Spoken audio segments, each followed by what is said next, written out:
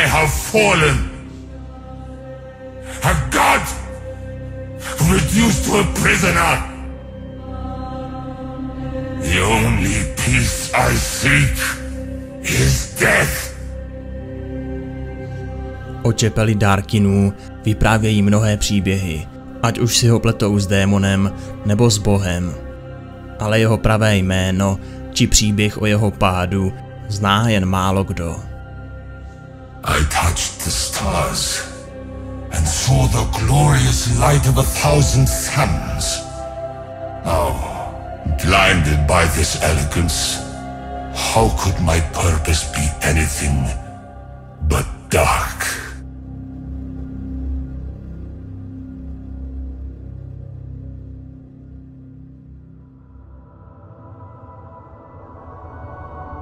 V prastarých časech, dávno předtím, než císařství spolkla poušť, byl jeden mocný šurimský šampion předveden před šurimský kotouč, aby se stal avatarem nyní zapomenutého nebeského ideálu. Byl přetvořen na jednoho z vyzdvižených. Jeho křídla zářila zlatým světlem úsvitu a zbroj se mu třpitila jako souhvězdí naděje za velkým závojem. Jmenoval se Atrox. Stál v předvoji každého ušlechtilého střetu. Jeho chování bylo tak spravedlivé a správné, že se ostatní válečníci vždy schromažďovali po jeho boku a za ním pochodovalo deset tisíc šurimských smrtelníků. Když si ho Setaka, válečnická královna vyzdvižených, zavolala na pomoc proti ikácijskému povstání, Atrox odpověděl bez váhání. Ale nikdo nedokázal předpovědět, jak obrovskou hrůzu ikácijští povstalci rozpoutají.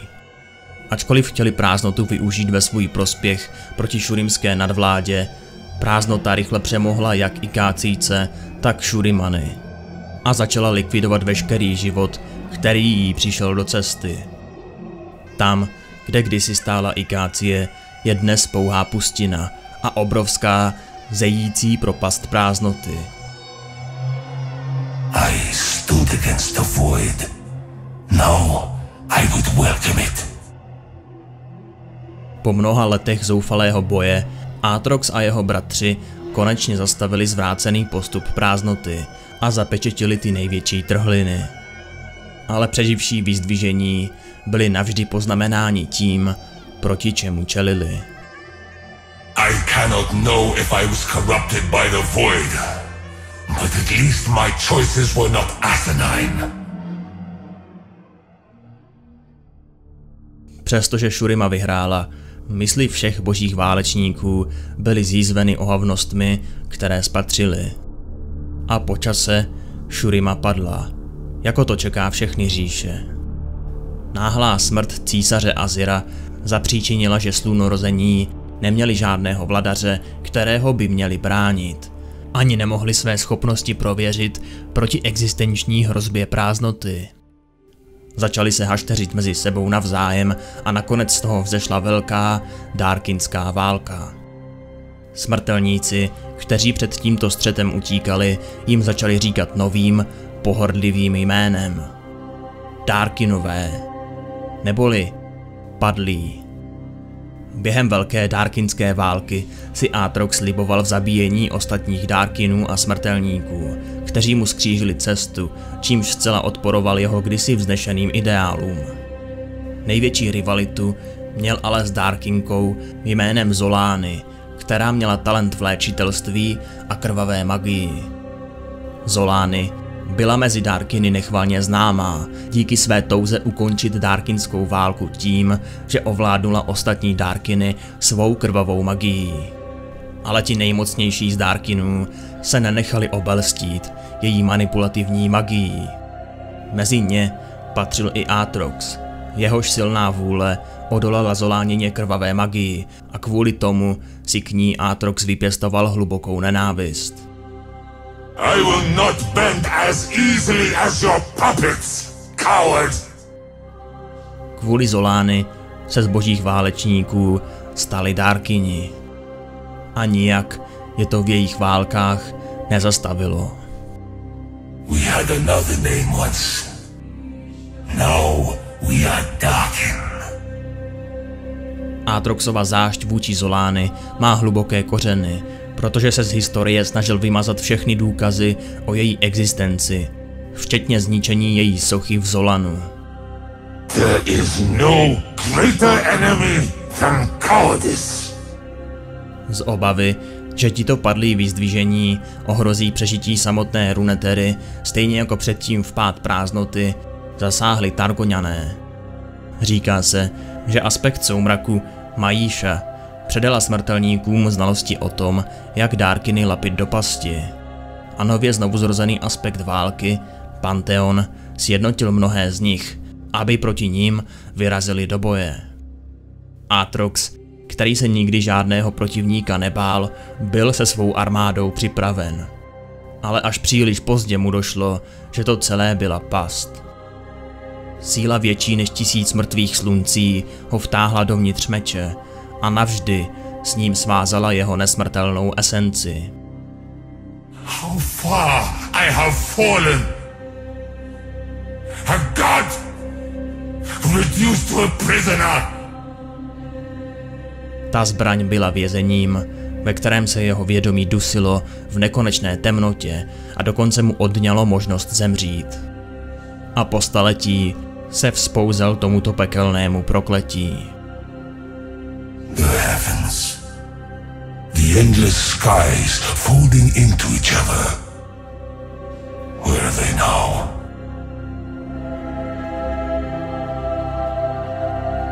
Atrox zůstal uvězněný nejméně 1500 let. Nakonec neznámý smrtelník uprchl z bitvy a ze zoufalství pozvedl Atroxův meč. Atrox rychle převzal tělo tohoto člověka a sformoval ho co nejblíže jeho původní podobě božího válečníka. Ale tím zabil původního držitele. Ze strachu, že toto tělo je příliš slabé, aby vydrželo jeho novou podobu, vyhledal jiného hostitele. Při pohledu na město, které se ocitlo uprostřed chaotické bitvy, se snažil pobít všechny bojující smrtelníky, aby jejich těla přetvořil do lepší a vhodnější podoby. From entire villages and towns I will rend the flesh.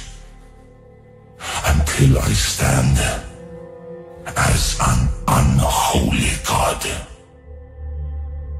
Atrox v průběhu věků získal řadu různých mužů a žen. Zdokonaloval svou schopnost vlastnit těla ze svého meče a přitom se snažil zjistit, jak uniknout. This cursed form, this cruel decaying flesh, I yield it. Uvědomil si, že svému vězení skutečně nemůže uniknout a rozhodl se, že jediný způsob, jak může být skutečně svobodný, je absolutní zapomnění.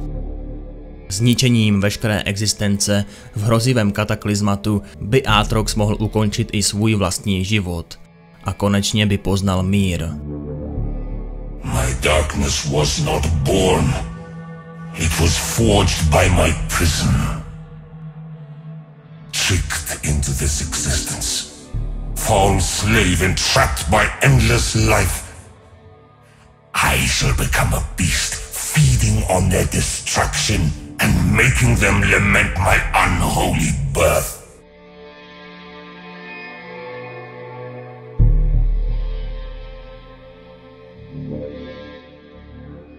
Atrox cestoval do Freljordu, kde na něj narazil Trindamérův kmen. Od východu se přihnala neobvyklá bouře. Vše zahalila ledová tma a proti měsíčnímu kotouči povstala obří silueta s velkými rohy. Někteří členové klanu poklekli v domění, že mezi ně zavítal jejich kančí bůh. Tvor byl v skutku protchnut starodávnou magií, avšak nepocházel z Freljordu. A ti, kdo šklečeli, zemřeli jako první. Trindamer vše s hrůzou sledoval. Při pohledu na útočníkův živý meč se mu v srdci probouzela divoká touha po boji. Ať už ho přemohla krvežíznivost nebo nějaký jiný druh šílenství, pozvedl Trindamer svou vlastní zbraň a z hrdla mu vytryskl řev plný vzdoru. Temná postava její máchnutím ruky odhodila na stranu, jako obtížný hmyz. Trindamer ležel obklopený mrtvými, na sněhu s černalém nasáklou krví. Naposledy se nadechl, alespoň si to myslel, a sledoval tvora, jak se k němu blíží a co si říká. Trindamer se snažil ta zvláštní prastará slova zapamatovat, ale jak z něj život utíkal, zůstala v mysli mladého válečníka vypálená pouze vzpomínka na to, jak se ona bytost tiše smála. Jenže Trindamer té noci nezemřel. Zpět k životu jej přivedla zuřivost větší, než jakou si kdy dokázal představit. Remember the screams of your kinsmen as you fall to me, Trendemir! I killed your tribe. Now, join them. I wait for you, Trendemir! Come! Take your vengeance! Není znám přesný důvod toho, proč Aatrox Trindamerovi poskytl tajemnou krvavou magii, která mu umožnila se zregenerovat a oživit se. yes, Trendemir! I am the cause of your suffering. See if you can cut justice from me. Nejpravděpodobnější bude to, že ho Aatrox spatřil jako svého potenciálního budoucího hostitele. I taught you my next vessel, Trendemir. Pity. You failed even to become a slave. Rage? You are just flesh, Trendemir, ready for harvesting!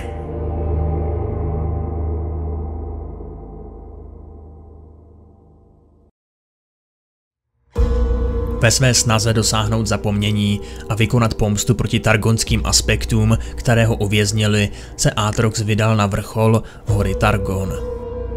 Tam čelil Panteonovi, aspektu války, který kdysi dopomohl k jeho uvěznění v meči. Pantheon! I see you! Like a lamprey you attach yourself to a host! I will carve you from this mortal's form! And eviscerate you both. Jejich boj zuřil až do nebes a zmítal armádami lidí pod horou, dokud se nestalo něco nemožného. Darkin vrazil svou bohovražednou čepel Panteonovi do hrudi úderem, který strhl souhvězdí války ze samotné oblohy. Ale zatímco se aspekt vytrácel, Atreus, muž, kterého posedl aspekt války, se opět probudil byl nabodnut na Aatroxovu čepel a moc aspektových zbraní slábla. Přerývaně se nadechl a plivl Darkinovi do tváře. Aatrox se ušklíbl a nechal Atrea na pospas smrti. The power of an aspect wasted on a fool. Pokračoval v hledání zapomnění a smrti jinde a zabíjel barbary v horách a řádil napříč Targonem. O několik hodin později, když se snesly vrány, se Atreus bolestivě postavil a po krvavé cestě se potácel zpátky k Rakoru. O několik dnů později Atreus opět dokázal chodit. A rozhodl se, že vykoná to, co aspekt války nedokázal. Vrhl se mezi Atroxe a armádu útočících barbarů. Třímal otupělé kopí a štít nyní padlého aspekta – Atrox se smrtelníkovi vysmál, jelikož mu chtěl čelit bez síly Panteona. Pantheon, you crawl forward like a worm, ready to be squashed again? Atrox bojoval s Atreem a málem ho zabil. Dokud Atreova vlastní smrtelná vůle znovu nezažehla souhvězdí aspekta války zpět na oblohu a zmocnila se jeho kopí, a mocným skokem usekl Aatroxovi paži i s mečem. Aatrox has slaughtered gods, but now he faces a man. Aatrox byl poražen novým Panteonem, neboli Atreusem. The power you sought has destroyed you, Aatrox. You will find no other end.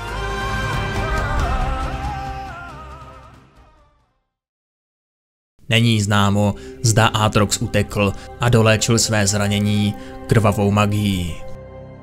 A nebo tam někde, nahoře Targon, zůstal jeho meč společně s jeho vědomím. Čekajíc na nového hostitele. They think me defeated, enchained. But I am. Tady Atroxův lore končí a prozatím Riot neprozradil, jak jeho příběh pokračuje. Jelikož ale považuji Atroxe za jednu z nejzajímavějších postav v Narunteře, tak si myslím, že si zaslouží, aby jsme o něm mluvili daleko víc, než kam sahá jeho základní příběh. Jako třeba jeho původ. Kdo vlastně Atrox byl před jeho pádem? Once in noble battle, I screamed against the silence. I stood as light against the darkness now. I serve a new master. Oblivion.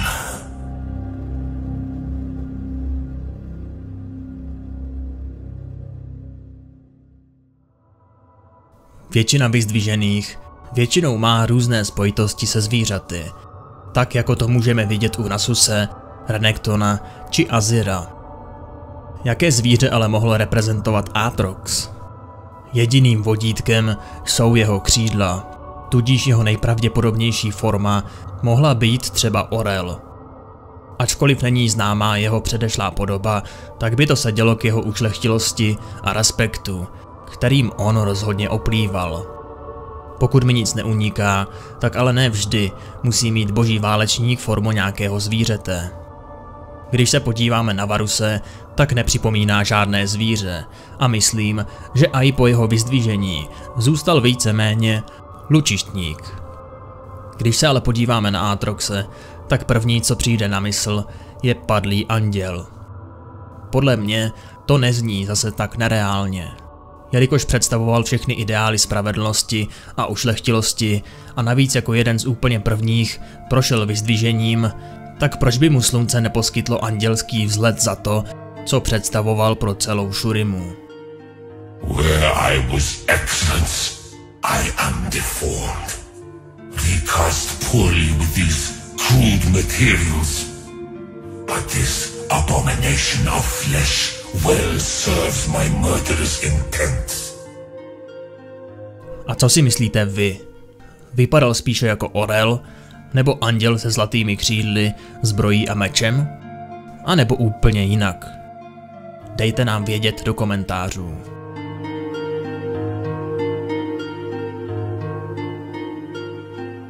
Jako vyzdvižený byl Atrox známý jako neuvěřitelně ušlechtilý válečník, který byl věrný šurímské říši. Neváhal pomoci svým spolubojovníkům v bitvách a byl mezi ostatními božími válečníky dobře známý pro svou ušlechtilost a poslušnost. Poté, co čelil prázdnotě v ikácijském povstání, Atrox se hluboce traumatizovalo to, čemu čelil a získal pochmurnější a pesimističtější pohled na svět. Zatímco se pomalu stával násilnějším a záštivějším vůči ostatním. Stejně jako většina Darkinů, během Darkinské války se Atrox stal násilným a šíleným i z nedostatku vedení po smrti Azira. Začal zcela ignorovat smrtelný život. Buď je viděl jako méně cené, nebo jako prosté vojáky svých armád. Jeho bezohlednost byla nechválně známá i mezi ostatními Darkiny, libujícími si v krvavých válkách a vraždách. Atrox dokáže asi ze všech Darkinů nenávidět nejvíc své nepřátele. Zejména ty, které považuje za zbabělce nebo zrádce. You will obey your general, coward! Tato násilnická pověst vedla k tomu, že její aspekti uvěznili jako jednoho z prvních Darkinů, což ještě více zhoršilo stav jeho mysli po všech těch tisíciletích uvěznění v jeho meči. Nyní Atrox nenávidí život samotný. A hlavně nenávidí sebe i celou svoji existenci. Patience, Atrox, patience! Your freedom will come! Žije v neustálé agónii a touží po řádném ukončení své vlastní existence. Svou nenávist zaměřuje nejen na ostatní, ale i na sebe, když bolestně přemítá o tom, jak hluboko klesl, když přešel z božského válečníka na dárky na uvězněného v jeho meči. We march to battle. Let me carve flesh. Let me cloak myself in the slaughter. Hide me in their carnage. Hide me from this suffering. Je tak zoufalý po ukončení svého utrpení, že je víc než ochoten spáchat všemožná zvěrstva, aby dosáhl onoho vysněného konce. A nezáleží mu na tom, jak násilný musí být. No.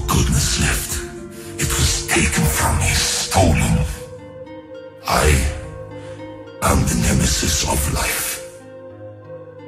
Už asi každý z vás někdy slyšel, že na Atroxově uvěznění má obrovský podíl Zoe, neboli aspekt soumraku, kterému se také říká aspekt změny. I know it was you, trickster!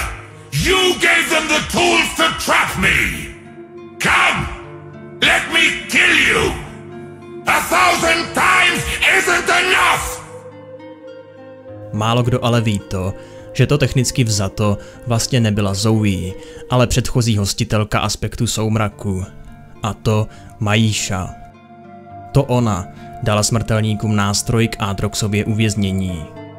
Když si později aspekt soumraku vybral Zoe jako svého nového hostitele, tak Zoe získala i všechny vzpomínky, které měla Majíša a všichni ostatní hostitelé před ní. Takže Zoe moc dobře ví, proč jí Atrox k smrti nenávidí.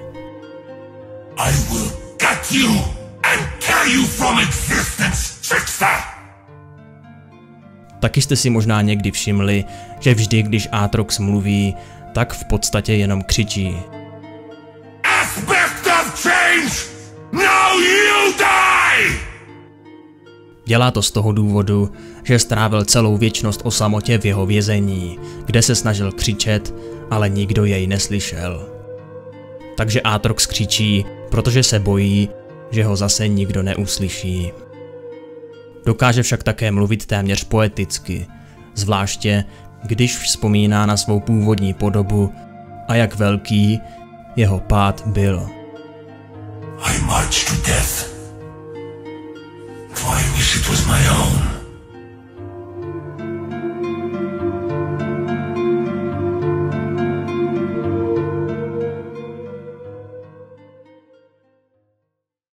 Na závěr tu máme ještě doplňující příběh, kde se přímo z Atroxova pohledu dozvíte, jaké to je být uvězněn po celé stovky až tisíce let. Temnota. Nemohu se nadechnout a to mě zžírá. Ta prázdnota, kterou mám v plicích a hrdle. Jako bych přestal uprostřed nádechu a nechal své plíce krutě čekat. S otevřenými ústy, dutým hrdlem, neschopný do sebe nasát vzduch. Má hruď, to příšerné napětí v hrudníku. Končetiny a svaly se odmítají hýbat. Nemohu dýchat. Dusím se. Tlak stoupá. Ta nehybnost se mi šíří do hrudi a údů. Chci křičet, rozsápat si obličej, kvílet, ale jsem v pasti. Nemohu se hýbat. Temnota. Nesmím zapomenout. Nesmím zapom... Ta bitva. Přestal jsem se ovládat. Byl jsem bláhový.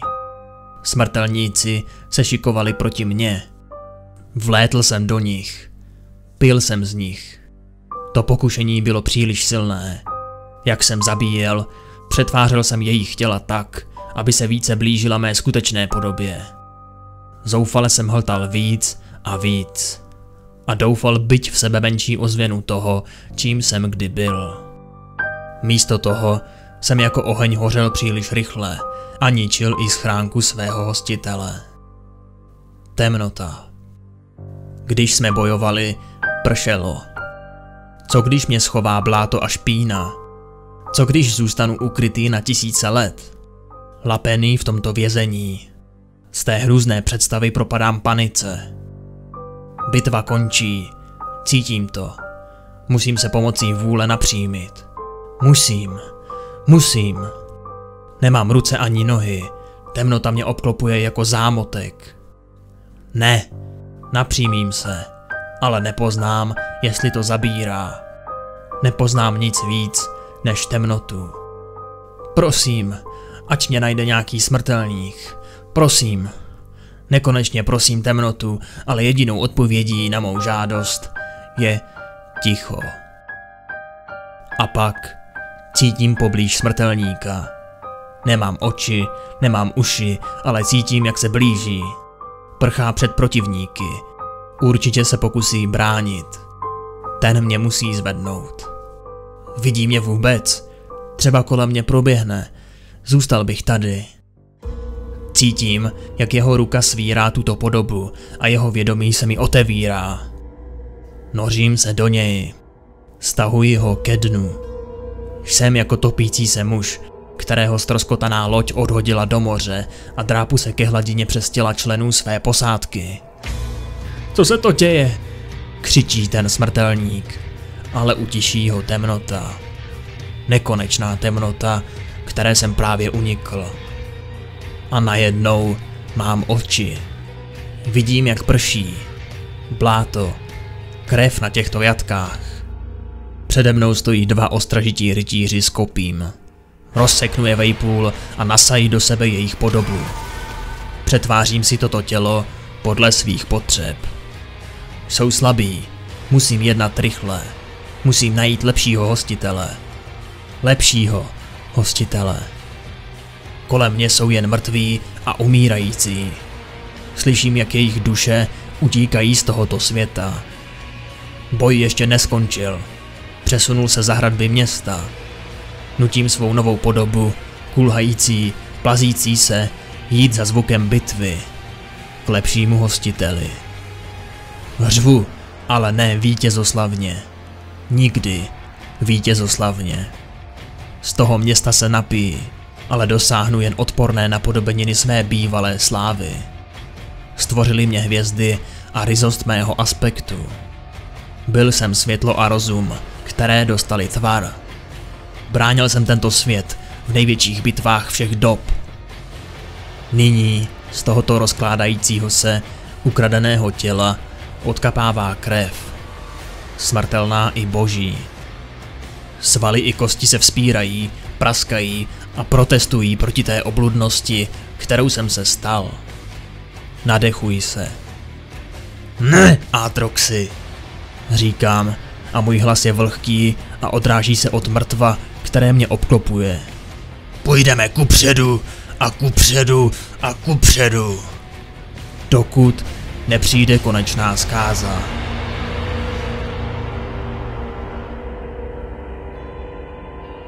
Dark deeds I will do this day. Though I will carry myself as my former pride dictates.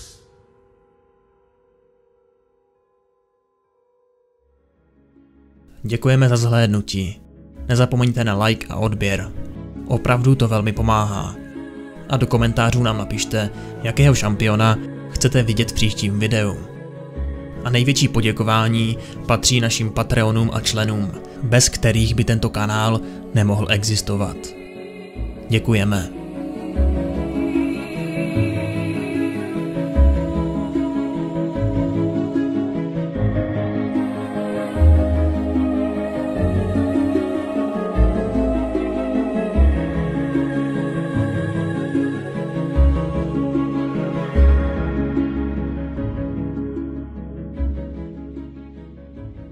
Am not a king, I am not a god, I am